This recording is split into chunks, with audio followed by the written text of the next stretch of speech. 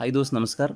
അവതാർ നാട്ടുകൾ എന്ന നമ്മുടെ ചാനലിലേക്ക് സ്വാഗതം. മാരടങ്ങൾക്ക് വേഴ്ചയിലുണ്ടാകുന്ന മാറ്റങ്ങൾ അറിഞ്ഞാൽ ഹൃതിമൂർച്ച കൈക്കുമ്പിളിൽ വരും. വേഴ്ചയിൽ നമ്മൾ കടന്നു പോകുന്ന നാല് ഘട്ടങ്ങൾ അറിയാമോ?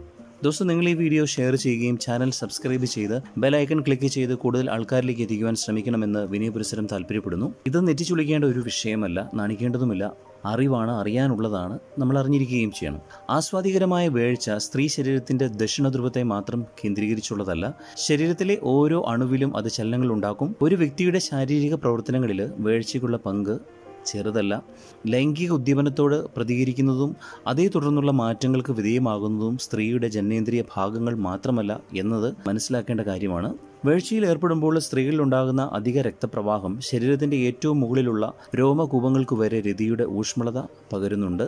വേഴ്ചയോട് ഏറ്റവും ആദ്യം പ്രതികരിക്കുകയും അതോടൊപ്പം തന്നെ ഏറ്റവും സെൻസിറ്റീവായ ഭാഗവുമാണ് സ്ത്രീയുടെ സ്ഥലങ്ങൾ എന്ന് പറയുന്നത്. അതുകൊണ്ട് തന്നെ ലൈംഗിക ഉത്തേജനം സ്ഥലങ്ങളിലും ഉണ്ടാകുമെന്നതിൽ അതിശോക്തിയില്ല ആ സമയത്ത് മാരടങ്ങളെ നിങ്ങൾ വേണ്ടത്ര ശ്രദ്ധിക്കുന്നില്ലെങ്കിൽ പോലും അവ പ്രതികരിക്കുകയും അവയിൽ മാറ്റങ്ങൾ ഉണ്ടാവുകയും ചെയ്യുന്നുണ്ട്. കാമകലയിൽ നിർഗുണന്മാരായാൽ പോലും അനാവൃതമാക്കപ്പെട്ട സ്ത്രീയുടെ മാരടങ്ങളെ ആർക്കാണ് തീർത്തും അവഗണിക്കാനാവുന്നത്?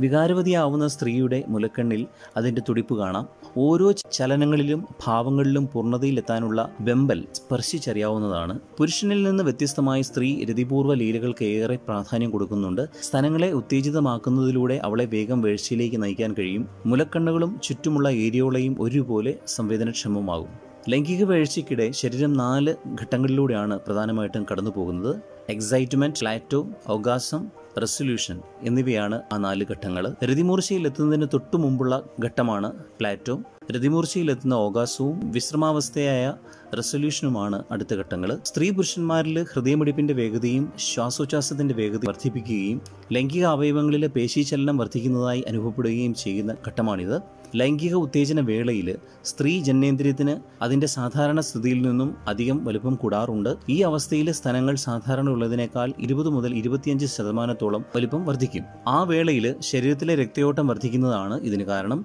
ചില സമയങ്ങളിൽ സ്ഥലം അമിതമായി വികാസം പ്രാപിച്ചു കഴിയുമ്പോൾ ഇലക്കണ്ണുകൾ എഴുന്നു നിൽക്കുന്നതേയില്ല എന്ന തോന്നൽ ഉളവാക്കുന്ന സ്ഥിതിയിലെത്താറുണ്ട് എന്നാൽ അതല്ല സത്യം. സ്ത്രീ വികാരവതി ആയിരിക്കുന്ന സമയത്തോളം മുലക്കണ്ണുകൾ ഉദ്ദീപിക്കപ്പെട്ട അവസ്ഥയിൽ തന്നെ ആയിരിക്കും. രതിമൂർച്ചയിൽ എത്തുന്നതിന് മുമ്പ് സ്ത്രീയുടെ സ്ഥലങ്ങളിലെ അപ്പോക്രൈൻ ഗ്രന്ഥികൾ ഉത്പാദിപ്പിക്കുന്ന ഫെറോമോണുകൾ എന്ന ഹോർമോൺ വീർപ്പ് തുള്ളികളായി പുറത്തുവരും. ഇതിന്റെ സുഗന്ധം പ്രത്യേകിച്ച് തിരിച്ചറിയാൻ സാധിക്കില്ലെങ്കിലും പങ്കാളികളിൽ അവരറിയാതെ ഇതിന്റെ സ്വാധീനം ഉണ്ടാക്കുകയും അവരെ രതിമൂർച്ചയിൽ എത്തിക്കുകയും ചെയ്യും. ഈ ഘട്ടത്തിൽ മാരടങ്ങളെ കൈകൊണ്ടോ നാവുകൊണ്ടോ ഒഴിയുമ്പോൾ മുലക്കണ്ണുകൾ വീണ്ടും ഉദ്ദീപിക്കപ്പെടുകയും ഓക്സിറ്റോസിൻ എന്ന ലവ് ഹോർമോൺ പുറപ്പെടുവിക്കുവാൻ തലച്ചോറിന് നിർദ്ദേശം നൽകുകയും ചെയ്യുന്നു.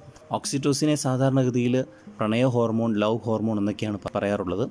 ഈ ഹോർമോൺ ആണ് ആളുകളെ കൂടുതൽ പ്രണയാതുരമാക്കുന്നത്. ലൈംഗിക ബന്ധത്തിനിടെ ഇണകൾക്കിടയിൽ കൂടുതൽ വൈകാരിക അടുപ്പം സൃഷ്ടിക്കാൻ ഇടയാക്കുന്നത് ഈ ഹോർമോണാണ്. റെഡ് ഗേഴ്സ് യൂണിവേഴ്സിറ്റി പുറത്തുവിട്ട ഒരു പഠനഫലം പറയുന്നത് മുലക്കണ്ണുകളും ഭഗശിഷ്ണികയും തമ്മിൽ ഒരു നാഡീബന്ധമുണ്ടെന്നാണ്. അതിനാൽ രതിമൂർച്ച ആർജിക്കാൻ ബുദ്ധിമുട്ട് അനുഭവപ്പെടുന്നുണ്ടെങ്കിൽ മുലക്കണ്ണുകളെയും ഭഗശിഷ്ണിയെയും ഒരേ സമയം ഉദ്- ഉദ്ദീപിപ്പിച്ചാൽ മതിയെന്നാണ് അവരുടെ പഠനഫലം. മുലക്കണ്ണിനെ മാത്രം ഉദ്ദീപിക്കുന്നതിനാൽ രതിമൂർച്ചയിലെത്തുന്ന സ്ത്രീകളും ഉണ്ട് എന്ന് മറക്കരുത്.